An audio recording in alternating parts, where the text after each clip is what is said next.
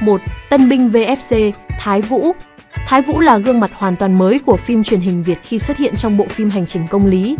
Chàng trai sinh năm 2000 đóng vai con trai lớn tên khang của cặp đôi chính Hồng Diễm Việt Anh. Chàng tân binh VFC khiến khán giả trầm trồ với những thành tích học tập đáng nể.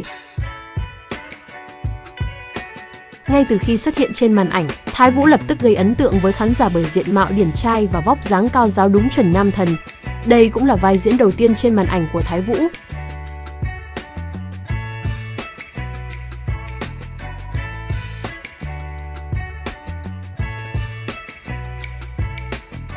Được biết, chàng tân binh VFC Thái Vũ chưa từng qua bất cứ trường lớp đào tạo diễn viên chuyên nghiệp nhưng nhắc đến thành tích học tập của chàng trai trẻ khiến người đối diện vô cùng ấn tượng. Thái Vũ từng là cựu học sinh lớp chuyên địa lý của trường Trung học phổ thông Chu Văn An, Hà Nội. Thái Vũ từng đoạt giải nhất học sinh giỏi thành phố Hà Nội môn địa lý, giải khuyến khích học sinh giỏi cấp quốc gia, huy chương bạc học sinh giỏi duyên hải và đồng bằng Bắc Bộ.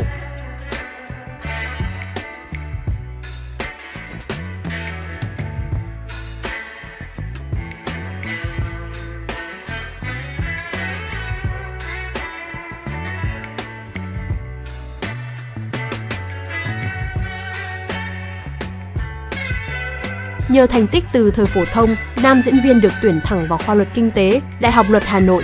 Đầu tháng 10 năm 2022, Thái Vũ vừa khoe bằng tốt nghiệp cử nhân loại giỏi tại ngôi trường này.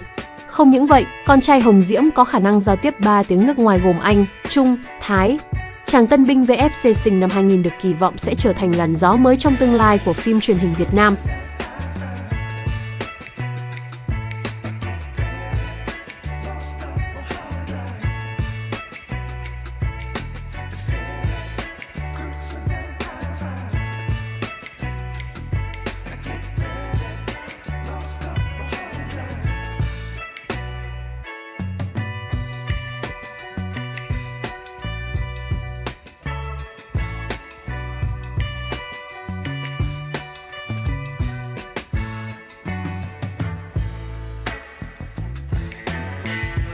2.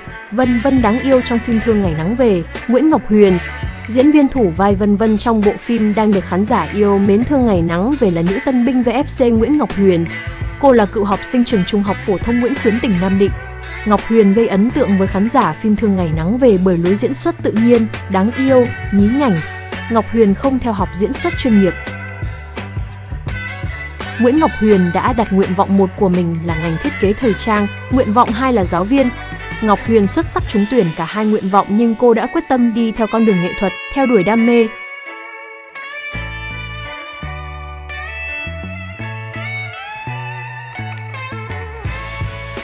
Ngọc Huyền đã xuất sắc đỗ á khoa ngành thiết kế thời trang tại trường Đại học Mỹ thuật Công nghiệp. Ít ai biết được rằng, trước khi đến với vai diễn Vân Vân, Ngọc Huyền đã tham gia bộ phim sitcom chiếu trên mạng tháng 5 dữ dội do nghệ sĩ Xuân Bắc làm đạo diễn.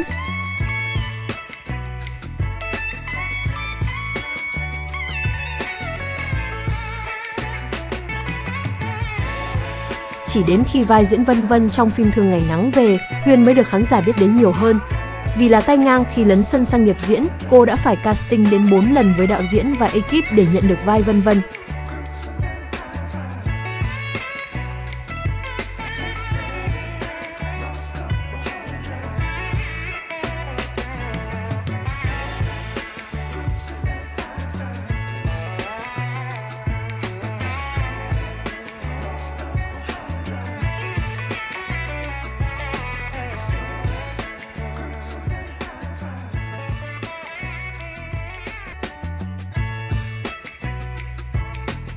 Ba Em gái bảo anh trong phim Gara Hạnh Phúc, Nguyễn Hoàng Ngọc Huyền.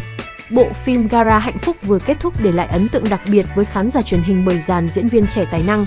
Ngoài nữ chính do Quỳnh Cun đảm nhận, nhân vật Vân do cựu hát girl trường Đại học Sư phạm Hà Nội Ngọc Huyền thủ vai cũng để lại nhiều ấn tượng.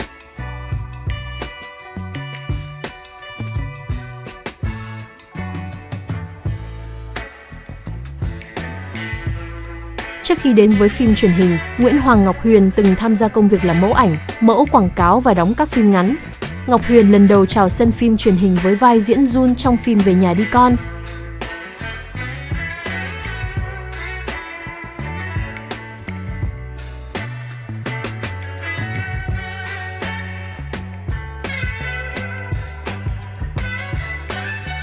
Dù là một diễn viên tay ngang nhưng những nhân vật do Ngọc Huyền đảm nhận đều được thể hiện khá tròn vai.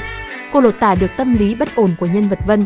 Không ít những phân cảnh Vân sợ hãi, ngây ngốc hay những cảnh khóc cực thương tâm đều được Ngọc Huyền diễn xuất tròn trịa, chạm đến trái tim của người xem.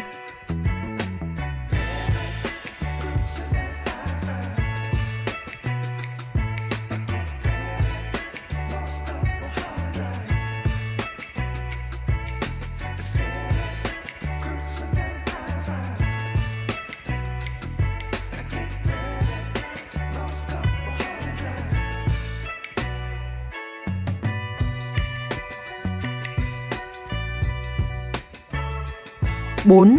Tân binh VFC, Lê Tuấn Thành Lê Tuấn Thành, sinh năm 1997 là gương mặt mới của phim truyền hình Việt Nam. Nam diễn viên từng đóng vai phụ trong các phim truyền hình ăn khách như Trở về giữa yêu thương, Lựa chọn số phận. Gần đây nhất, Lê Tuấn Thành góp mặt trong bộ phim Thông gia ngõ hẹp, tái hiện nhân vật ông Khôi, nghệ sĩ nhân dân trọng trinh thời trẻ,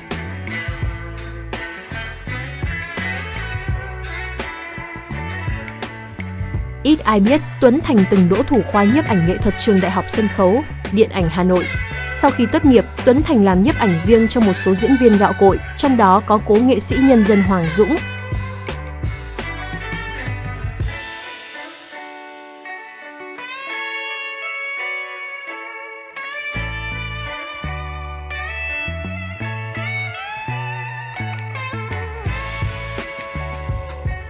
Cũng từ đây Tuấn Thành có cơ duyên đến với diễn xuất.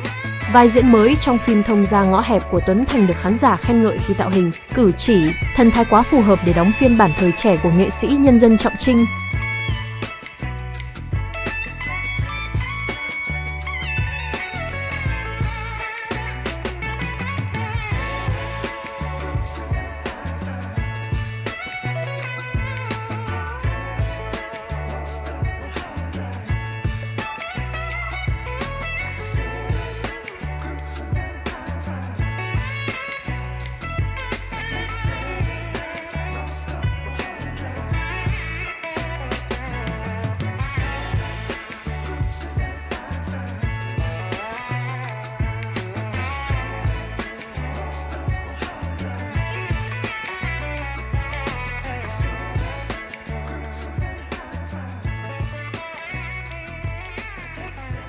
Dù luôn đem đến hình ảnh lạc quan trên màn ảnh nhưng ít ai ngờ, Hoàng Anh Vũ đã từng có hai lần đổ vỡ hôn nhân.